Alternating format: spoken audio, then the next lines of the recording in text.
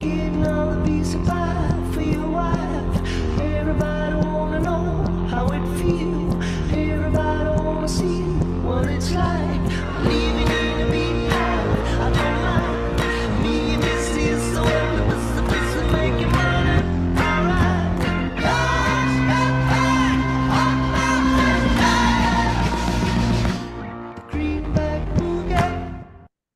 Bonjour et bienvenue à tous dans ce 63e épisode de votre émission Legal Club Sandwich. Je le rappelle, cette émission est faite pour vous. C'est en direct, c'est tous les 15 jours et on est ravis, ravis de vous retrouver. Alors, n'oubliez pas que vous pouvez également retrouver nos émissions en podcast ou en replay en tapant Legal Club Sandwich sur tous vos moteurs de recherche. Alors, au programme, des invités exceptionnels, toujours. On adore ça. Des sujets juridiques, mais pas que.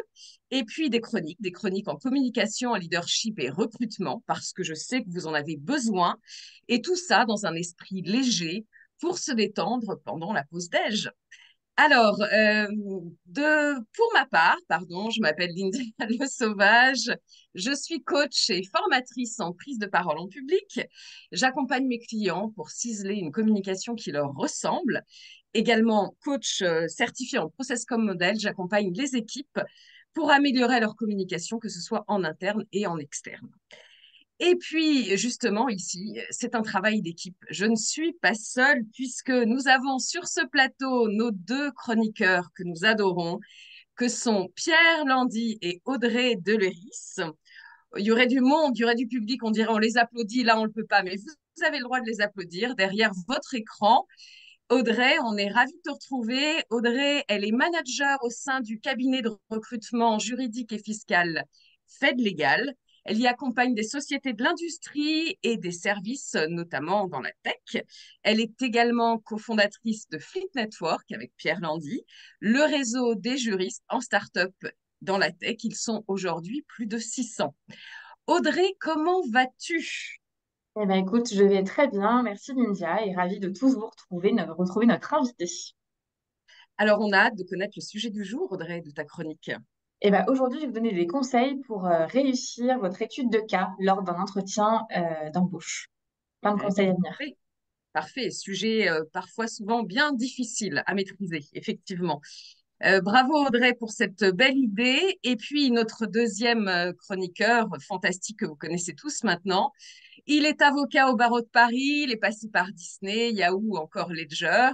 Il est également cofondateur, comme, euh, comme, comme il est cofondateur de d'ENCO, une alliance d'avocats européenne. Je voulais parler de Fit Network.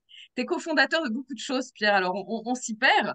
Euh, il propose par ailleurs des services de mentoring juridique et d'accompagnement en leadership à destination des directeurs juridiques, notamment dans la tech. Et ce joli candidat s'appelle Pierre Landy. Comment vas-tu, Pierre, aujourd'hui? J'ai l'impression qu'il faut que j'appuie sur un buzzer quand tu dis candidat, Audrey, mais euh, Lydia, pardon. Écoute, je vais très bien et euh, comme je sais que tu vas me poser la question, je vais te le dire tout de suite.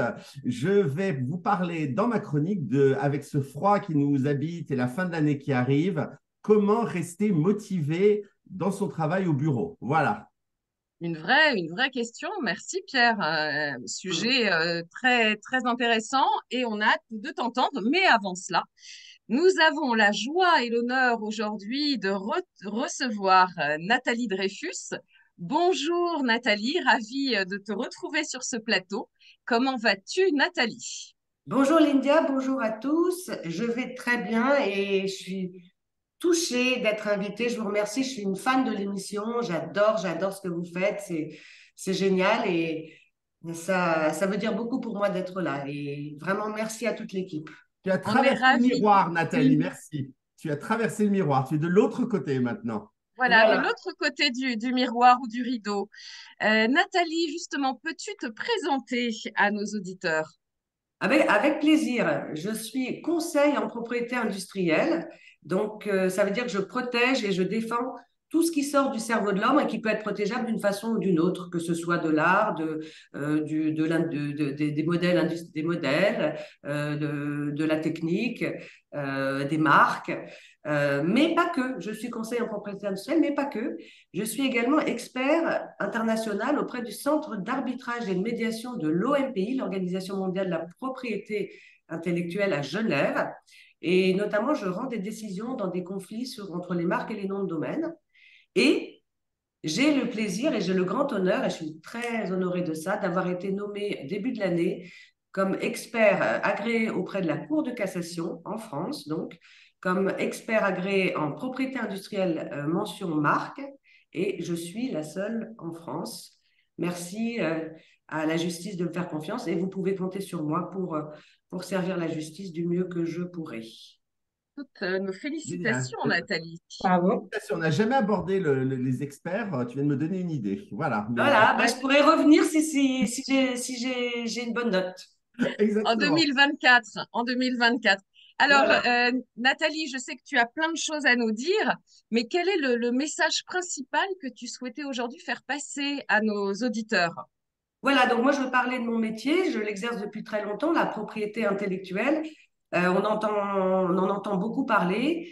Euh, c'est c'est un- une branche du droit qui est très technique, euh, où on peut vite faire des, écueils, où il y a beaucoup d'idées préconçues, il y a beaucoup de lois, il y a beaucoup de jurisprudence aussi, ça évolue énormément. On est vraiment sur l'actualité, euh, là, AI, le Web 3, euh, les nouvelles technologies. Euh, en tant que conseil, nous, on est vraiment un business partner pour les départements, pour les entreprises, et on est vraiment à côté de nos clients pour les accompagner dans toutes leurs évolutions. Donc, euh, ce que je voulais dire, c'est qu'en France, c'est intéressant, on a une vraie culture des marques, donc il y a beaucoup, beaucoup de marques qui sont déposées, mais il y a beaucoup, beaucoup aussi d'idées, que ce soit chez les entrepreneurs, euh, les, particuliers, les entreprises, des idées préconçues sur la propriété intellectuelle de façon générale. Alors, justement, si tu devais nous présenter, euh, Nathalie, l'univers des marques, quelles sont les, idées reçues en matière de marque, les, les principales idées reçues? Voilà. Donc, comme je vous disais, en France, on est vraiment, avec le Japon, on est un pays où on adore déposer des marques. C'est une vraie culture de dépôt de marque. Le boulanger dépose sa marque, euh, beaucoup de particuliers, les entreprises. Et on se fait des idées. On dit, tiens, ben, mon logo est protégé par le droit d'auteur, je n'ai pas besoin de le déposer comme marque. Eh bien, c'est faux. C'est faux. Euh, je peux tout à fait déposer mon logo comme marque et être protégé, du coup, à la fois par le droit des marques, mais aussi par le droit d'auteur et donc de bénéficier de deux, euh, types de protection. Il y a, quelque chose que j'entends souvent, c'est euh, ma marque est enregistrée, donc je suis protégée. Donc ma marque est enregistrée, ça veut dire que j'ai un certificat de- d'enregistrement, par exemple de l'INPI en France, et donc je suis protégée. Eh bien, c'est faux. C'est faux parce qu'en fait, ça ne donne qu'une présomption de propriété qui peut être devant, à tout moment devant les tribunaux. Donc, c'est très important de faire des recherches d'antériorité avant de déposer sa marque, surtout que l'INPI ne fait pas de recherche d'antériorité, sur les, droits euh, qui existent de façon antérieure. Mais Nathalie, du coup, comme tu parles d'entreprise, si euh, je suis une entreprise, du coup, je peux déposer uniquement le nom de mon entreprise ou je peux déposer d'autres choses? Voilà, là aussi, c'est une idée qu'on peut avoir, c'est on se dit, tiens, ben, euh, je peux déposer que mon nom d'entreprise, mais c'est faux. En fait, il y a une, une, va- une variété de marques presque infinie et qui évolue en plus avec, euh, euh, avec la technique. On a des marques verbales, on a des marques figuratives, on a des marques sonores, on a de la couleur, on a des hologrammes, on a des marques de mouvement. C'est en perpét- perpétuelle évolution avec les technologies et ce qu'on voit en matière de communication. Une marque sonore, juste qu'on comprenne bien, c'est, ça peut être un jingle, par exemple. euh, le- Exactement. Donc, Pierre, euh, tu devrais là, déposer- euh, Ouais, tu déposes ton jingle en tant que marque, c'est génial. D'accord, un truc hyper. euh, euh, le, le de Netflix, par exemple, on pourrait imaginer que ce soit déposé, euh, c'est-à-dire peut-être le cas, j'en sais rien, de- à marque sonore, parce que tout le monde sait ce que ça représente, c'est ça? Voilà, ça peut être aussi le, le- le moteur de Harley Davidson, ça peut être plein de choses. Quelque chose qui identifie vraiment une, euh, un, un produit ou un service. Donc, euh, ça, ça, ça a beaucoup évolué hein, en matière de marque. Alors, du coup, ça fait énormément de marques. euh, c'est la plus populaire en ce moment qui est enregistrée? Ah ben ça, c'est c'est une question intéressante. En fait, je pense, je pense que ce sont les marques de mouvement qui sont très en vogue actuellement et qui sont difficiles à enregistrer. Euh, et on a aussi des logos un peu en mouvement, etc., que, que les entreprises tentent d'enregistrer. Également, ben, aussi les odeurs. Mais si je continue ouais, sur, sur euh, ces, ces- ces idées reçues en matière de marque, c'est j'enregistre mon domaine, je pense que euh, ça se rapporte à mon entreprise et donc j'ai pas besoin de déposer une marque. Ben non, c'est pas vrai. Il y a, bon, aucune obligation de déposer une marque, mais la dénomination sociale et le nom de domaine, c'est pas la même protection. Et la marque, elle, elle confère une protection qui est très étendue par rapport euh, au nom de domaine. Donc plus de sécurité et des outils juridiques dédiés, l'action en contrefaçon, la saisie contrefaçon, etc. Je crois qu'on n'a pas entendu Audrey poser la question de, de les odeurs. Tu nous as interpellé, Oh, Nathalie. pardon. C'est pas grave. Est-ce que tu aurais des entendu. exemples justement par Ah rapport bah, aux ça peut odeurs? être l'odeur de, de- de- d'herbe mouillée, ça peut être, euh, euh, ça peut être euh, une odeur très caractéristique pour, euh, pour, pour identifier un produit, oui. Un parfum, par exemple, peut être déposé à titre de marque? Oui, c'est difficile, mais l'odeur, l'odeur d'un parfum, après, c'est très compliqué à obtenir de- des enregistrements parce qu'il faut vraiment identifier un, un produit et service et pas être le, le, le produit en tant que tel. Est-ce que, là j'ai une question, parce que je crois, mais je n'ai pas vérifié avant très honnêtement, et je crois que c'est le cas aussi dans la cuisine. Il n'y a pas une histoire de, de plat aussi qu'on peut déposer? Ah, les recettes de cuisine, Oui. on a énormément de questions là-dessus. Mais il faudra que je revienne là-dessus, parce que là, on est sur les idées reçues. Dans les recettes de cuisine aussi, on a des possibilités de se protéger et on a énormément de demandes au cabinet actuellement, puisque euh, on est- tout le monde sait qu'on est très gourmand et qu'on connaît les sujets des bonnes, euh, des bons et des bonnes recettes. Donc, euh, effectivement, comment protéger une recette de cuisine, c'est un vrai sujet et c'est un sujet très complexe et qui va dépendre de- au cas par cas. Alors, si on revient sur les idées reçues, euh, une marque euh, euh, un intitulé humoristique, je peux ou je peux pas? Un truc euh, un peu rigolo. euh. Ah ben oui, on en, on en voit des marques euh, un peu drôles. euh. En fait, on peut, il faut simplement respecter les conditions euh, de, de la loi, c'est-à-dire il faut respecter l'ordre public et les bonnes mœurs. Donc, on peut tout à fait avoir des marques euh, un peu drôles, comme euh, au lieu, pour évoquer euh, Bob Dylan, le chanteur, Bob Dylan. Ou alors, D'accord. Comprendre celle-là. voilà, ou alors au lieu de Charlo- Charlie Hebdo, Charlie Abdo. D'accord. Ouais. T'aurais d'autres exemples du hein. coup? T'aurais d'autres On, on exemples peut faire des jeux de mots, ouais. Mhm. D'accord. T'aurais d'autres exemples aussi éventuellement à nous donner? On adore les, les exemples concrets du coup. Par exemple, euh, au lieu de Papa Don't Preach, Papa Don't Peach, euh, en anglais, c'est ça, c'est Ah ouais. Ce, ce genre, voilà. pour des ventes de, de pêche, papa don't pitch. je- Ah, j'adore. Voilà. D'accord. Et, euh, et du coup, là, au niveau international, justement, je pense que ça peut intéresser nos auditeurs. Euh, là, tu parles de déposer en France euh, et tu parlais aussi de l'OMPI. Euh, si je dépose une marque à l'international, est-ce que je suis forcément protégée dans tous les pays du monde? Alors ça, c'est vraiment une bonne, sujet, une bonne, une, une bonne réflexion parce qu'en fait, on a souvent des gens qui viennent me, me voir et me disent, Nathalie, je veux déposer ma marque au niveau mondial. Je veux une marque internationale. Et en fait, on a effectivement un système technique qui s'appelle la marque internationale. Mais en fait, elle n'a d'international que le nom, puisqu'en fait, on va désigner en fait des produits, on va désigner des pays, et ce sont uniquement les pays désignés qui vont être protégés sous réserve, qui vont être passer les examens de chacun des offices nationaux. Donc en fait, ça n'est qu'un tronc commun. Et la marque internationale, elle, elle, est internationale, mais elle est, elle est, elle est virtuelle. Et elle, ne- elle, elle n'est la marque n'est protégée de toute manière que dans les pays où on a déposé la marque. En fait, c'est très simple en matière de marque, pas de dépôt, pas de droit, sauf dans les pays de common law où on peut avoir un droit de marque par l'usage. Mais donc, en fait, si je ne dépose pas ma marque dans le pays, je ne suis pas protégée. Ok, merci. Et Et alors justement, justement, Audrey, je sais, Audrey, tu voulais intervenir. Tu étais bloqué sur l'international, Lydia. Tu Ben étais... oui, moi j'étais en train de me dire, mais alors, en fait, j'étais en train de me dire, mais si je veux la déposer dans tous les pays de l'Union européenne, je suis obligée de déposer par pays, c'est ça? Non, justement. Alors là, non, euh, on a, on a une, une possibilité, on a euh, maintenant une marque euh, Union européenne qui nous permet d'un seul, de- par un seul dépôt de viser les 27 pays de l'Union européenne. Et ces, ces pays, on peut d'ailleurs les loger dans ce système dit de marque internationale. Mais là où j'ai beaucoup d'idées reçues, c'est sur la marque internationale. Parce qu'en fait, ça n'existe pas, en fait. Il y a un- une marque qui s'appelle internationale dans la loi, mais elle ne nous donne pas une protection internationale, elle ne donne une protection que dans les pays dans lesquels on va demander un droit et bien. dans lesquels on va l'obtenir. Et Et alors- d'ailleurs, c'est très intéressant, on peut désigner cette marque de l'Union européenne dans la marque internationale. C'est pour ça que je vous dis, c'est quand même assez technique. Il faut mieux demander des conseils pour savoir quelles sont les meilleures stratégies de dépôt. Et alors, en matière de copyright, euh, Nathalie, est-ce que tu peux nous en dire plus? Parce que là aussi, j'imagine qu'il y a des idées euh, reçues. Oui, alors là, on a- fameux- le- il y a le fameux symbole déjà, le, le C dans un rond là qu'on voit partout. C'est vrai, c'est vrai. Euh, oui, alors on, voilà, oui, le C du copyright. euh, s'il n'y a pas de C, les, gens pensent que l'œuvre n'est pas protégée par copyright ou par droit d'auteur en France. Mais c'est entièrement faux. Parce qu'en fait, le droit d'auteur, il naît sans formalité.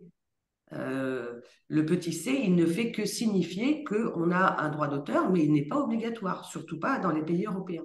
Il est souvent utilisé en petit c avec l'année de publication et le nom du propriétaire pour dire à qui appartient le, droit d'auteur, mais il n'est aucunement obligatoire. Il n'y a pas de formalité pour euh, obtenir un droit d'auteur, sauf, en fait, ce qui est intéressant, on peut quand même obtenir un certificat de copyright aux États-Unis, par exemple, et en Chine.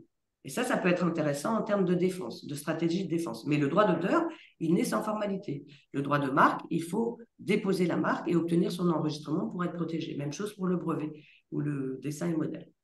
Alors moi, sur le copyright, j'ai une autre question à te poser parce que ça me rappelle euh, mes années euh, chez Yahoo euh, où je travaillais avec de jeunes sociétés et, eux croyaient que s'ils voyaient une image ou, un, ou, un, ou une œuvre en fait sur Internet, elle était nécessairement libre de droit puisqu'elle était diffusée. Donc un petit clic droit et hop, on la réutilise. Et évidemment, ça faisait des sueurs froides. Donc là, je pense que cette idée, il faut la combattre. Voilà, ex exactement. En fait, le droit d'auteur, il s'applique partout, il s'applique dans le monde réel, dans le monde virtuel, il s'applique sur Internet. Et, euh, et donc, effectivement, si une œuvre est accessible, tu as tout à fait raison sur Internet, ça ne veut pas dire qu'elle est libre de droit. hein. Et il faut chercher les autorisations, demander les autorisations au titulaire pour utiliser, modifier, diffuser une œuvre, même, même si, et surtout à des fins promotionnelles. Et alors, est-ce que parfois, euh, sur Internet, on trouve euh, des choses qui nous guident pour savoir si on peut utiliser ou pas les, les créations, en fait, les œuvres qu'on y trouve?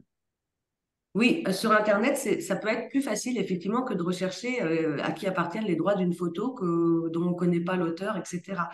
Euh, effectivement, on peut avoir des liens vers des créations et on peut, on peut retrouver des choses. Par exemple, sur la page euh, Wikipédia de- du pâtissier Cédric Rollet, vous voyez comme on est gourmand, euh, sa photo, elle est affichée comme étant protégée par une licence Creative Commons.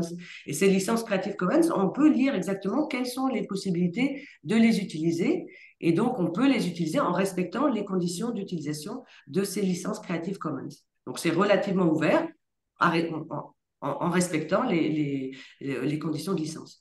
Mais par exemple, si je, je prends l'exemple de Picasso qu'on trouve sur la page de Wikipédia, là, toutes ces photos, elles sont bien notées, euh, retombées dans le domaine public, c'est que personnes qui peuvent les utiliser librement et, euh, et, le, faire sans, sans, sans, sans être poursuivis. Donc, euh, il, faut, faire attention. Juste encore dans le droit d'auteur, euh, il y a, encore une, une, un- une idée, euh, une, différence, une, idée reçue qui est très importante. Je, viens d'y penser. hein. On me dit souvent, il y a des gens qui viennent et me disent, voilà, voilà, j'ai créé ce sac, j'ai fait ce vêtement. Bon, je me suis inspirée d'un autre vêtement, mais il y a cette différence. Donc, s'il y a cette différence, euh, euh, il n'y a pas d'atteinte. Et ça, c'est vraiment un mythe qui circule.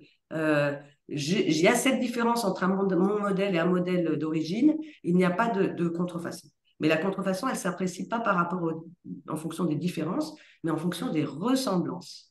Ça, c'est quelque chose que j'entends régulièrement. Donc ça, c'est en matière de, de droit d'auteur. Et, le droit d'auteur, c'est euh, protégé, euh, protégé combien de temps en France? Voilà, donc on a une protection qui est, qui est longue, hein, en fait, euh, puisqu'en fait, on est protégé euh, 70 ans à compter de la mort de l'auteur. Donc, les, les, les, œuvres, en fait, elles survivent, elles elles à leur auteur, mais elles, sont protégées 70 ans ap- ap- après la mort de l'auteur. C'est pour ça que Winnie l'ourson, mais c'est aux États-Unis, mais Winnie l'ourson, je me suis retrouvé euh, récemment, euh, moi qui suis un fan de Disney, vous le savez tous, euh, dans le domaine public, et qu'il y a eu un film d'horreur avec Winnie l'ourson qui est C'est sorti il y a vrai? très longtemps. Oui, Euh, oui, oui, parce c'est vrai. qu'il est tombé dans le domaine public. Bon, bref, ouais. je, je, je, je pars off. Euh, Et, et ça, ça vaut sur toute l'œuvre ou on peut utiliser qu'une partie de l'œuvre, Nathalie, du coup? Là aussi, hein, je veux dire, même si j'utilise, euh, c'est une très bonne réflexion, si j'utilise une partie de l'œuvre, certains pensent qu'ils peuvent euh, ne pas avoir à demander l'accord des titulaires de droit, mais ça, c'est ça, c'est faux. Hein, je veux dire, euh, et ça s'adresse à tout le monde. C'est très important hein, que ce soit que ce soit un jeune qui rédige un devoir pour son prof de français. Euh, un étudiant aussi, un, employé, le droit d'auteur euh, euh, confère à son titulaire un droit de contrôle sur l'utilisation de son œuvre, même partielle. Et, donc une utilisation, sauf si elle peut être caractérisée comme une, exception, comme une citation ou une critique, il faut l'autorisation de, l'auteur, il faut respecter la création. D'accord. Donc, en théorie, un étudiant qui cite en fait une œuvre devrait devoir signifier Exactement.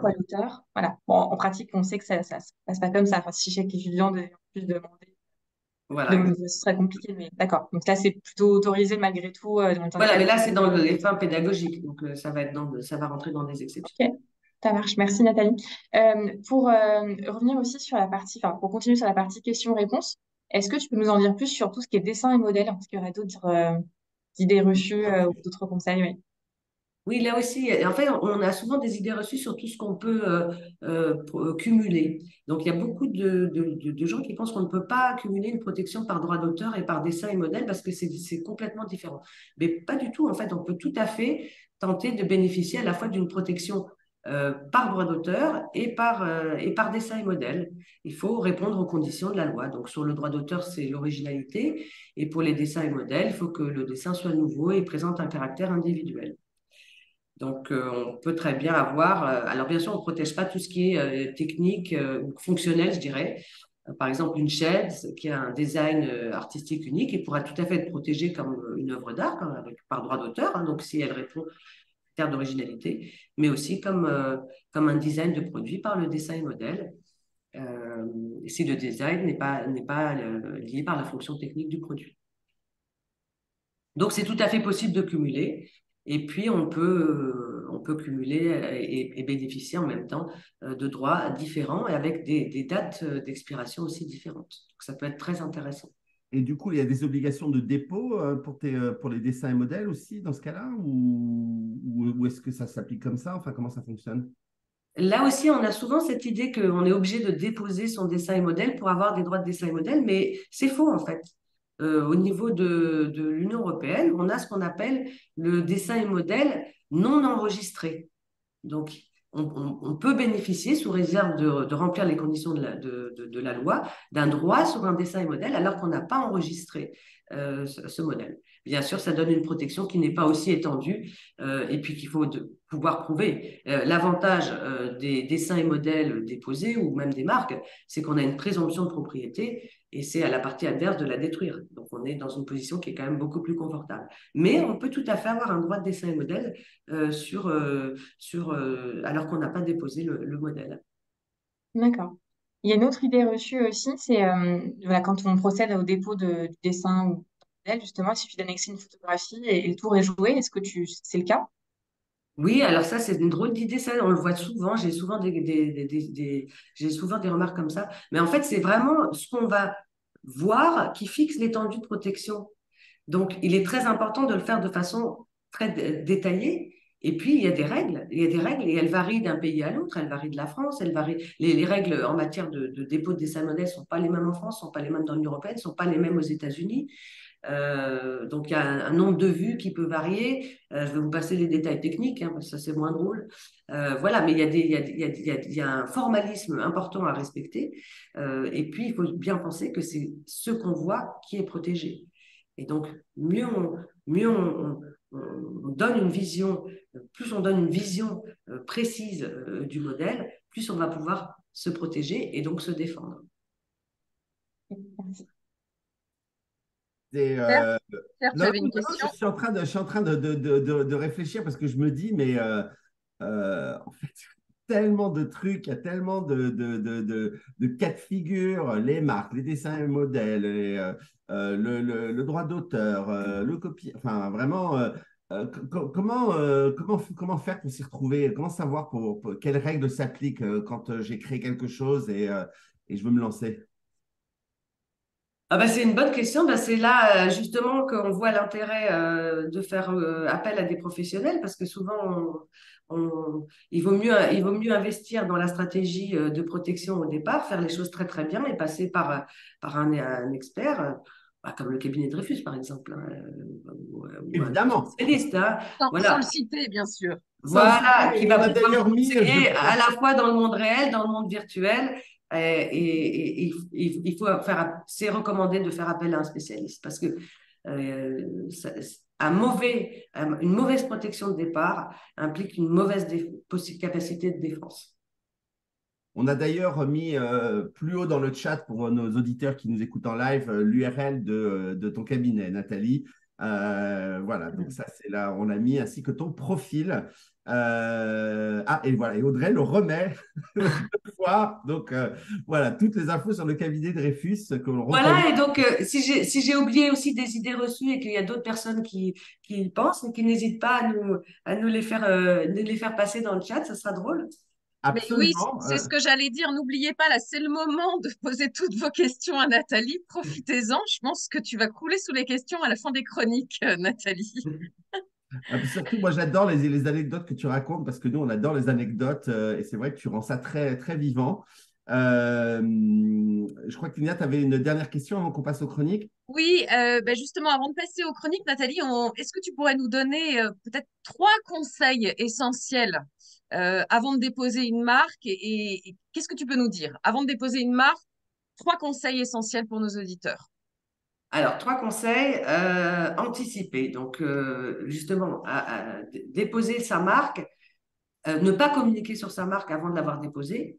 Anticiper pour, pour garder secret, secret toutes les, les créations. Ça vaut pour les marques et puis pour toute création, avant de l'avoir, protégée.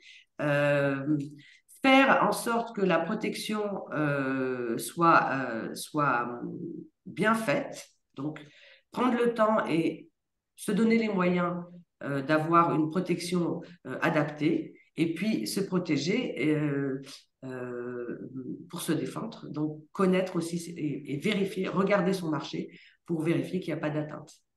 Donc, connaître, savoir pour pouvoir se défendre ou pas se défendre. Voilà mais les trois conseils que je pourrais donner. On y reviendra peut-être sur l'histoire des ressemblances dont tu nous parlais tout à l'heure, parce qu'imaginons, je dépose un, je viens de créer un sac, il y a des ressemblances. Comment tu vas faire toi pour me dire, ah attention, euh, Lindia, tu vas pas pouvoir déposer ce sac? Qui va juger en fait de ces ressemblances? Voilà. Bah, donc pour le, pour le faire, en fait, on va faire des recherches d'antériorité pour voir euh, dans l'é- l'état de l'art. On va vérifier, on va regarder l'état de l'art, à la fois donc des recherches qu'on va faire sur les dessins et modèles, sur le droit d'auteur, sur les marques figuratives aussi. Hein, si c'est, euh, on peut avoir, on peut imaginer une forme de, sac hein, protégé à, à titre de marque. hein. C'est assez rare, mais ça arrive. Et donc, on- dans l'état de l'art, pour voir si effectivement on a des antériorités qui sont pertinentes. Alors, ça n'est pas une science exacte, euh, on ne peut pas garantir un résultat, un résultat euh, total, euh, mais on, on peut avoir déjà une belle idée de, de, de, de, de la- bah, de- des caractéristiques qu'on peut avoir sur une création.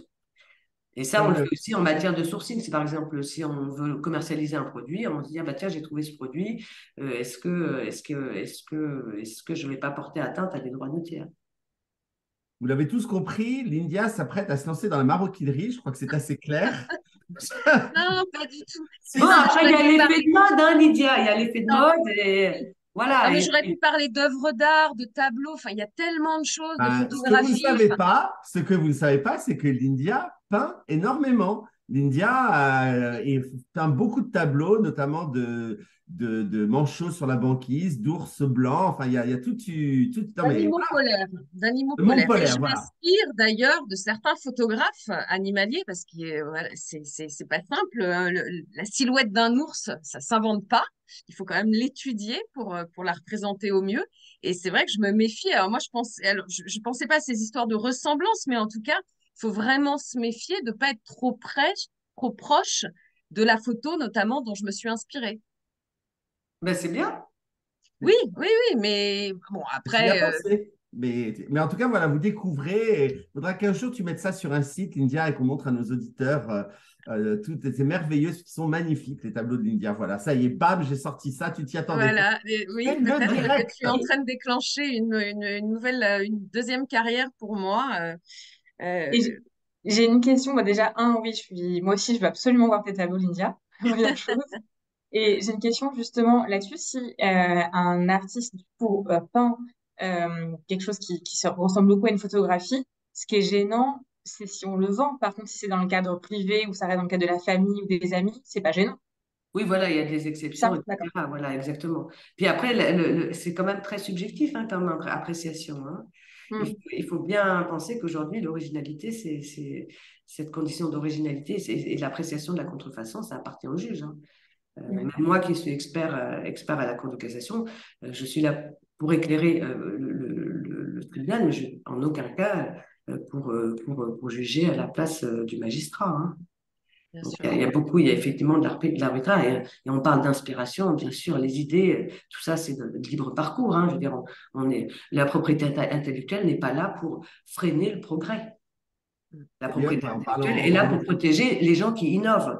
Et en France, on a beaucoup d'innovateurs, et bravo, et beaucoup de créateurs, et beaucoup de gens qui se lancent, et beaucoup de gens qui ont vraiment la, fibre d'entrepreneur et qui ont des idées euh, magnifiques. Euh, c'est normal que euh, lorsqu'ils arrivent au stade de la création et de qu'on, puisse les accompagner et leur donner un avantage concurrentiel, soit par un droit de marque, un droit de dessin et modèle, un brevet, un droit d'auteur aussi, et, c'est plus un avantage concurrentiel parce qu'ils ont innové.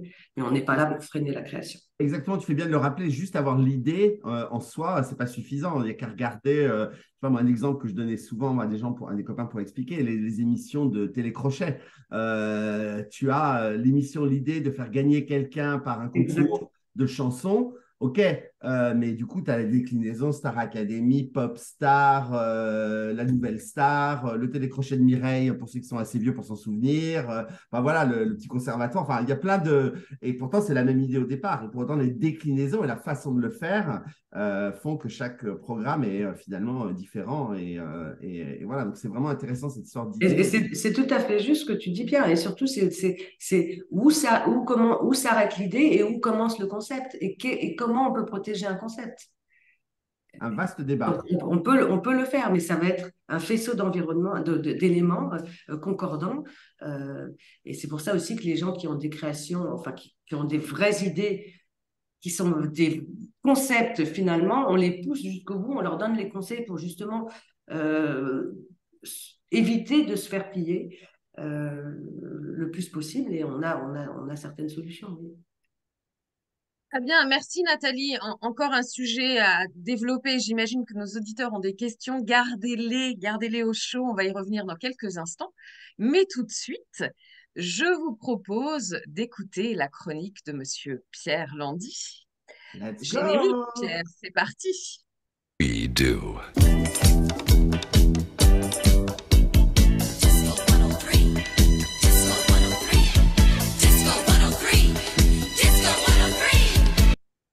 On adore ces jingles, on n'en a jamais changé. On les avait trouvés sur une plateforme euh, euh, de, de, libre de droit, d'ailleurs, Nathalie, euh, à l'époque. Et, et on les adore, on n'en a jamais changé. Alors, moi, aujourd'hui, je vais vous poser cette question. Comment rester motivé au bureau? Euh, bien sûr, parce que euh, bah, c'est la fin de l'année, on est tous épuisés. Euh, et puis, euh, voilà, la motivation, bah, c'est un petit peu comme une flamme. Parfois, elle est vive, éclatante. Parfois, elle vacille un peu. Et euh, il faut surtout à tout prix éviter qu'elle s'éteigne. Alors, la première chose que je voulais vous dire, c'est qu'il faut déjà reconnaître, accepter qu'il est tout à fait normal de traverser des phases de moindre motivation euh, lorsqu'on est dans un job depuis un moment. Euh, c'est un petit peu ces phases comme, les saisons de l'année, euh, avec ses caractéristiques, ses défis. Il y a des moments où on est au taquet, on est à fond, on est ultra motivé, on s'entend le dire, et puis d'autres moments où on se dit, oh là là, je suis complètement démotivé. Et, et ben voilà, c'est quelque chose qui fluctue. Alors, moi, je trouve qu'en début d'année, on approche bientôt euh, à ce début d'année, c'est le moment idéal pour recontracter, c'est un bon mot pour aller avec les juristes, avec soi-même. je pense qu'il faut toujours en début d'année, et moi je le faisais régulièrement euh, lorsque j'étais en entreprise, se poser la question, est-ce que je suis toujours heureux avec mon poste? Est-ce que j'ai toujours envie de participer au projet de l'entreprise? Euh, Vraiment, c'est une pratique euh, totalement saine de, s'arrêter, euh, de réfléchir si on est en phase avec nos aspirations, nos objectifs pour notre environnement professionnel, voir les valeurs de l'entreprise, le boss pour qui on travaille ou le cabinet dans lequel on évolue. Comment fonctionnent les associés, enfin je ne sais pas, se reposer cette question en début d'année avec soi-même, se, se recontract, se comme j'ai envie de le dire avec mon accent Jean-Claude Van Damme, euh, eh bien c'est euh, c'est quelque chose qui est vraiment très utile à faire. Et ça peut être d'ailleurs le catalyseur d'un regain de motivation euh, ou alors à l'inverse l'indicateur qu'il est temps de chercher des nouveaux horizons. Alors, lorsque vous ressentez un manque de motivation, commencez-vous par vous poser quelques questions primordiales. La première, c'est quelle est la source de ce sentiment? La peur, la tristesse, la frustration, l'agacement? En fait, souvent, comprendre nos émotions, c'est le premier pas vers le changement. Donc, c'est la première chose. Ensuite, un aspect crucial pour retrouver la motivation, c'est de se rappeler votre pourquoi. Pourquoi est-ce que vous faites ce travail? Qu'est-ce qui vous a attiré vers ce poste initialement? Euh, Quelles étaient les valeurs qui vous ont attiré vers cette entreprise? Pourquoi vous avez choisi ce domaine du droit? Pourquoi vous êtes allé dans ce cabinet?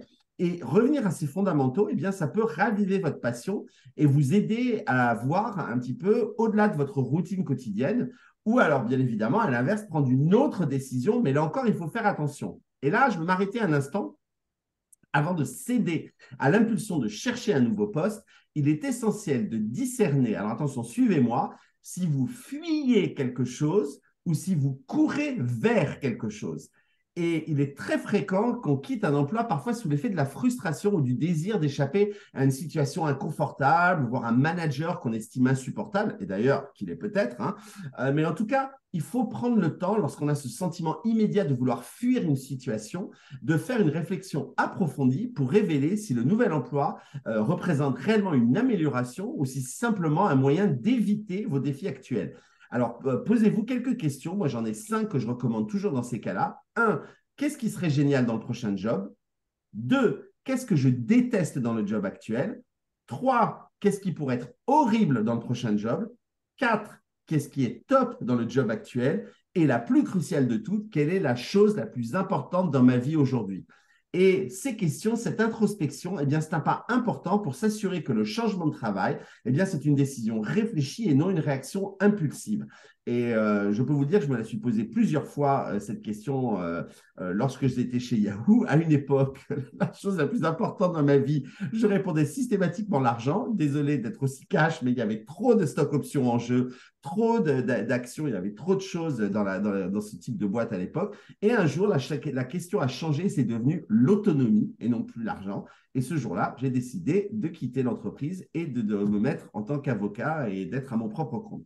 Donc, c'est très important de vraiment avoir tout ça en tête. Ensuite, considérez vos objectifs. Où voulez-vous être dans un ou deux ans, dans cinq à dix ans? Comment est-ce que votre emploi actuel peut vous y aider à parvenir? Définissez des objectifs clairs et réalisables. Ça vous donne un cap à suivre, un sens de progression. Ensuite, pensez aussi à personnaliser votre travail. Vous, vous me voyez arriver euh, avec mes gros sabots. Si votre emploi ne vous permet pas d'exploiter pleinement vos compétences et vos passions, vos forces, pourquoi ne pas proposer vous-même des projets ou des tâches qui vont vous stimuler davantage et qui vont vous permettre de montrer ce à quoi vous excellez?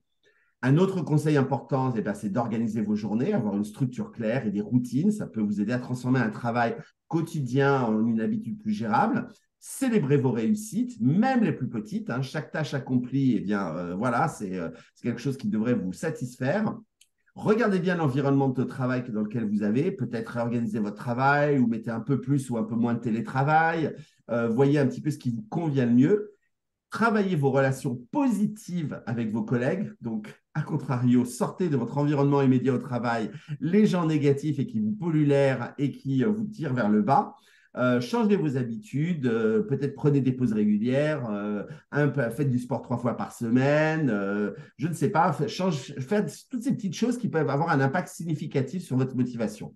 Donc rappelez-vous, en conclusion, rester motivé au travail, c'est un processus qui est continu.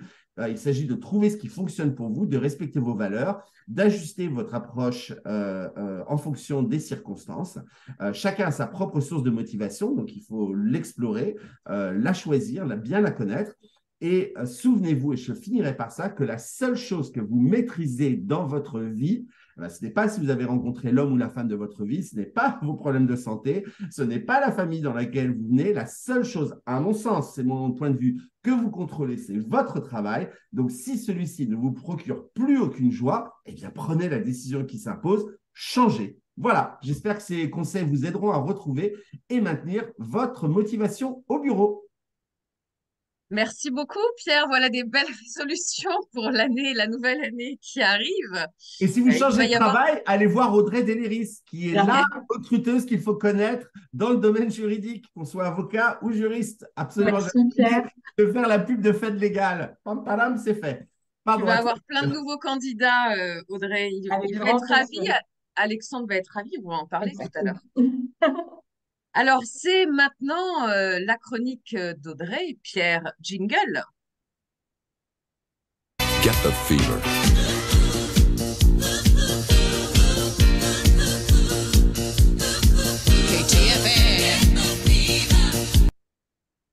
Merci pour ce jingle qu'en effet j'adore euh, toujours depuis le premier jour. Et pour faire une magnifique transition avec euh, la chronique de Pierre, en effet, si finalement vous n'en pouvez plus, vous voulez changer de job, je vais vous donner des conseils.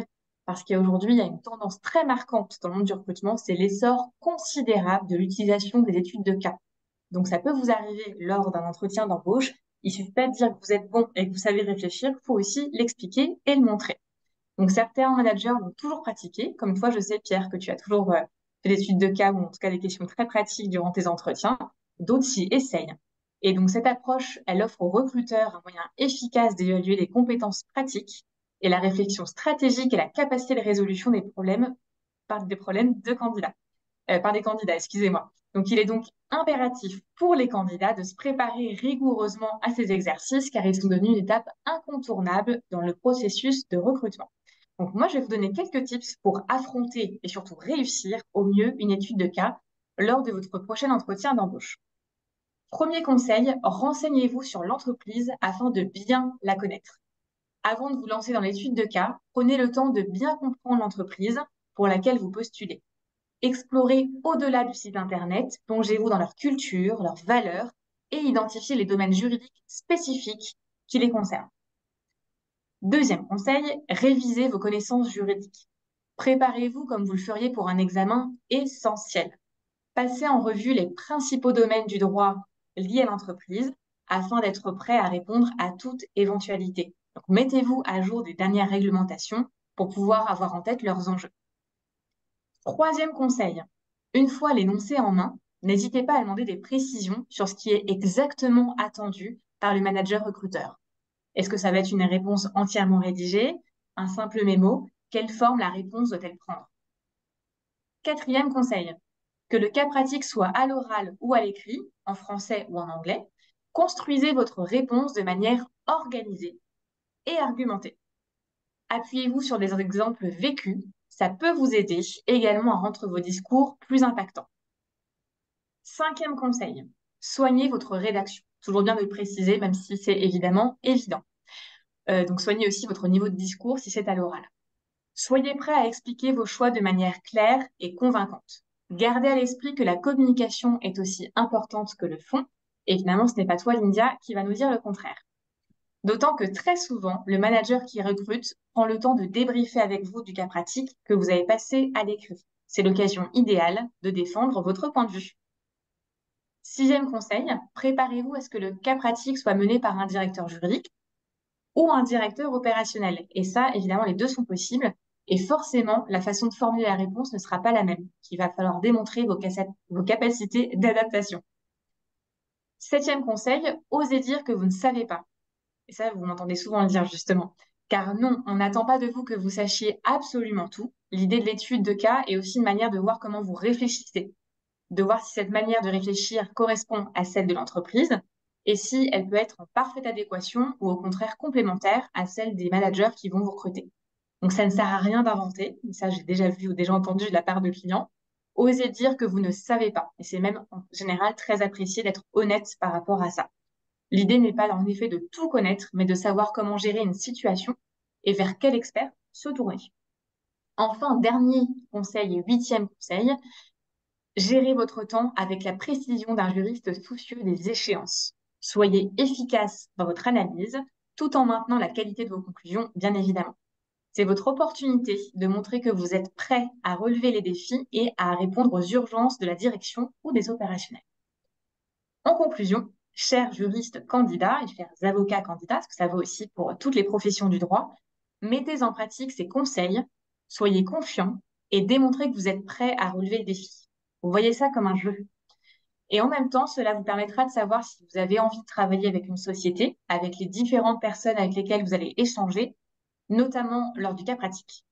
Donc, euh, Lindia, Pierre et Nathalie, une étude de cas, c'est une façon de montrer ce que vous aimez faire et comment vous exercez votre métier. Donc, bonne chance à vous tous lors de vos entretiens d'embauche, lors de ces passages d'études de cas, et ne vous découragez jamais.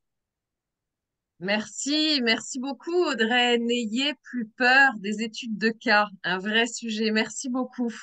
Merci. Nathalie, Nathalie, on te retrouve tout de suite pour euh, de, de nouvelles questions parce que tu imagines bien qu'on ne va pas s'arrêter là. Et je crois d'ailleurs, Pierre, que tu as une question directement pour Nathalie. Absolument. Euh, en fait, euh, bon, tu sais que tu as une marque, tu l'as déposée, tu es très fier, tu as suivi, tu es allé voir euh, Dreyfus Company pour euh, la déposer. Je te donne un nouveau nom. hein. Et, euh, du coup, comment est-ce que tu t'assures pour anticiper euh, le renouvellement avant que la marque euh, ne tombe et que tu la rates pas? Com- comment est-ce que tu t'organises? Ah oui, ça c'est une bonne question parce qu'on a beaucoup de clients qui viennent nous voir et ils pleurent parce qu'ils ont perdu leur marque, euh, soit parce que c'était la- l'assistante qui gérait ça, elle est partie et ça n'a pas été tenu. Donc nous, en fait, euh, en fait, la marque, elle est valable pendant 10 ans, indéfiniment renouvelable. Et ça, c'est une merveille puisqu'en fait, les autres droits ont une durée de, vie limitée. Hein. On parlait de- du droit d'auteur, on a les 70 ans après la mort de l'auteur, euh, les dessins et modèles, c'est 25 ans. Les brevets aussi ont une durée limitée. Donc, en marque, on peut indéfiniment renouveler. Encore faut-il bien gérer les échéances. Donc, nous, au, cabinet, on a développé un outil qui s'appelle euh, Dreyfus IP Web, et où on a toutes les législations euh, des marques du monde entier.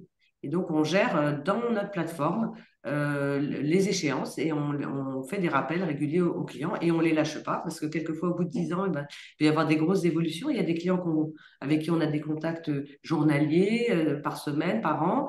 Puis il y en a d'autres dont on n'entend pas parler forcément euh, tous les jours et, et les choses évoluent et on voit donc en 10 ans qu'il peut se passer énormément de choses. Soit il peut y avoir des sociétés qui ont explosé et qui sont devenues gigantesques, soit il y en a aussi qui ont disparu. Et donc, euh, on fait nos, petites recherches, on essaie d'identifier les personnes en charge. On lâche rien, comme je dis. On lâche rien et on essaye de sécuriser les droits des clients de cette façon. Il faut être méga organisé parce qu'effectivement, bon, à la limite, quand tu n'as qu'une marque, euh, tu t'en sors, mais dès que tu commences à avoir un portefeuille un peu conséquent, euh, euh, et puis alors en plus dans plein de pays, effectivement, ça va très très vite devenir, euh, devenir cauchemardesque. Exactement. Et puis, il y a des formalités qui sont très variables d'un pays à l'autre, même pour les renouvellements. Même si la tendance va à la simplification de, de ces procédures de dépôt et d'enregistrement, il y a quand même énormément de particularités euh, sur le droit des marques. Et, et dans ce cas-là, vous travaillez, j'imagine, avec des correspondants euh, dans les pays. Enfin, vous avez un réseau de, on est obligé d'avoir un réseau de correspondants. Dans, dans- tu parlais de la Chine, des États-Unis tout à l'heure. J'imagine que c'est comme ça que vous travaillez. Exactement. On a des, on a des réseaux de correspondants dans le monde entier. Oui, c'est ça. avec on- Nathalie, est-ce, que tu as une, une histoire, nous on aime bien les histoires un peu croustillantes, un peu extravagantes euh, sur, euh, sur toutes ces dernières années à nous raconter, que tu peux nous partager, bien entendu. Ah, une histoire. euh, Bah, en fait, ça peut être dangereux aussi, la propriété intellectuelle. Euh, Un jour, il y a, il y a... mais c'était avant que je monte mon cabinet. Euh, on a, on- dans, dans le cabinet où je travaillais avant, euh, on avait un client euh, qui euh, était mécontent de mon ancien patron, pas de moi, hein, bien sûr, qui est Bien venu euh, avec une arme et le menacer, un couteau. Euh, il faut savoir que, c'est anecdotique, mais il faut savoir que dans, dans, dans beaucoup, la contrefaçon, ça draine aussi beaucoup d'argent de la drogue, la mafia. Euh, dans certains pays, j'ai des confrères qui ont un pistolet dans leur boîte à gants. Euh, c'est pas forcément tout repos. Euh, la propriété intellectuelle. Euh, nous aussi, même en matière d'Internet, je vais vous raconter une petite histoire, mais c'était vraiment pas volontaire. C'était parce qu'on est très spécialisé aussi sur tout ce qui est la protection online euh, des, marques sur Internet et des dirigeants, tout ce qui est conformité, des problèmes de, co- de compliance et nom de domaine. Et donc, on, on envoie beaucoup de mises en demeure. Et on en avait envoyé une en Albanie. Et avec en copie le bureau d'enregistrement, et ben le, réservataire a passé trois jours en prison suite à notre mise en demeure sur son nom de domaine. Donc, il y a des appréhensions qui peuvent être variables d'un pays à l'autre. Euh, voilà, euh, euh, c'est pas un métier non plus de tout repos. Moi aussi, j'ai eu déjà pour des dossiers des menaces personnelles euh, sur, et sur ma famille, suite à des dossiers qui peuvent apparaître finalement techniques et où il n'y a pas forcément d'intuitu personnel, on n'est pas en droit de la famille. Il faut savoir qu'on a quand même, il y a des choses qui sont, qui peuvent être extrêmement, extrêmement, euh, extrêmement difficiles. D'accord. Et donc, si on avait cru, Oui. Voilà, donc nous au cabinet, on a des caméras, enfin, on est, de toute manière, on est, au, au- euh, on est au- à la confidentialité, mais on a, on a des, pro- des process de, de défense aussi. et de, et Voilà. puis il y a, des- il y a pas n'importe qui, hein. Moi, j'avais découvert dans une entreprise précédente, et puis ce sera ma dernière question, euh, mais euh, parfois, pour racheter des marques qui sont, tu as un client et puis euh, bah, tu as une marque qui t'ennuie et tu voudrais bien la récupérer, euh, ou un nom de domaine d'ailleurs, qui, que tu voudrais bien récupérer, et bien parfois on passe par des, euh, par des hommes de main, en fait, Euh, on passe par euh, quelqu'un, euh, et nous on l'avait fait, qui rachète pour son compte.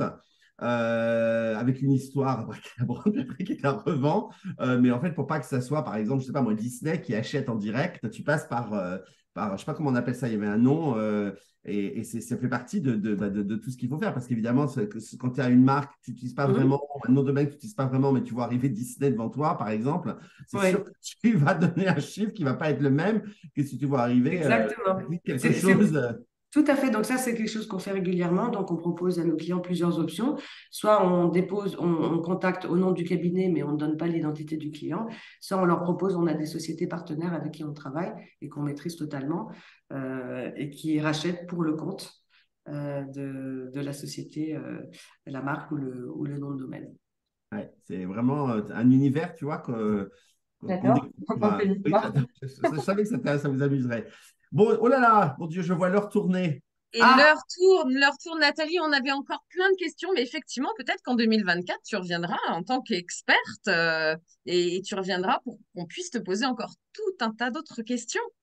Mais euh, le plaisir serait le mien. Bon, un petit mot de la fin, Nathalie, et après, on va présenter notre prochain invité. Un petit mot de la Bah, fin. D'abord, tous mes remerciements pour cette invitation et pour cette discussion euh, euh, vraiment euh, fort en- enrichissante. Mon conseil, bah, il faut continuer à innover et bien sûr innover, mais aussi penser à se protéger et, et à surveiller aussi ses, ses- ses créations tout au long de leur, de- de leur durée. Voilà, donc je souhaite beaucoup de succès à tous nos, nos créateurs, entrepreneurs, français ou francophones. Et je les salue et j'ai beaucoup de respect. Et euh, on a toujours, nous, été à côté de nos clients pour euh, les porter et pour, euh, pour être, les soutenir dans tout ce qu'ils pouvaient euh, entreprendre. Bravo à tous. Merci, merci beaucoup, Nathalie. Je vais protéger mes ours, c'est promis, mes ours polaires. Eh bien, le 12 décembre, le 12 décembre, nous allons recevoir un invité qu'on aime beaucoup, euh, que vous connaissez peut-être. Je vais laisser d'ailleurs Audrey euh, nous le présenter. On verra pourquoi. Oui, moi je le connais Quel. Voilà, quel est notre invité du 12 décembre, Audrey? Excuse-moi, Lydia. Euh, le 12 décembre, le mardi à midi pétante, comme d'habitude, on recevra Alexandre Tamagno. Alexandre Tamagno, c'est le cofondateur du FED, euh, qui est éditeur du recrutement en France et euh, qui dit FED dit un petit rapport avec FED Légal, en effet, puisque Alexandre euh, Tamagno est accessoirement mon patron, du coup, mais au niveau pas que FED Légal, de tout le groupe. Et on l'a invité non pas pour parler de FED Légal ou de recrutement juridique, donc là, on va vraiment vous inviter à justement inviter d'autres gens qui seraient intéressés par des enjeux en fait de recrutement beaucoup plus globaux. Euh, donc ça va être euh, extrêmement intéressant d'échanger sur ces enjeux beaucoup On plus va pas larges. le lâcher, ton boss, euh, Audrey. On va le. Non, je suis ravie de le Audrey, recevoir. elle, va- elle va se prendre deux Xanax avant le prochain épisode. Ça va être formidable. Est Mais nous, on est ravis. On est ravis de le recevoir. Alexandre. Il est très sympa. On va passer une bonne émission et, et ça va être très chouette euh, de l'avoir avec nous, en tout cas. Pierre, euh, un petit mot de la fin pour aujourd'hui. Mais j'avais pas de mot de la fin, mais euh, le Bah, mot tu de vas la en trouver un. Tu vas en trouver un. Eh bien, écoutez, je suis euh, ravi euh, de, vous avoir retrouvé et, euh, il nous reste plus que deux émissions et on est vraiment euh, désespérés. Mais rassurez-vous, on peut vous le dire en avant-première. Moi, je le dis, il y aura une saison 8 euh, parce que on en a parlé et donc voilà, vous nous retrouverez même si on, prendra comme d'habitude notre petit hiatus. Je crois que c'est ce qu'on dit dans les médias. Vous, avez- vous savez qu'on fait trois mois d'émission, trois mois on s'arrête pour garder notre bah, justement rester motivé, rester motivé à ce qu'on fait euh, et donc vous nous retrouverez pour une saison 8, mais on vous en dira plus euh, plus tard. Voilà, ça sera mon mot de la fin. Merci beaucoup, merci Audrey, merci Pierre et merci Nathalie. On était ravis de t'accueillir. On va rendre l'antenne dans quelques instants. Merci à tous nos auditeurs d'avoir été là. Cette émission, elle est faite pour vous. N'oubliez pas, vous pouvez retrouver en replay l'émission ou en podcast. On vous retrouve dans 15 jours avec Alexandre Tamagno le 12 décembre à midi. Belle journée à tous. À très bientôt. Jingle. Jingle. Le jingle va arriver.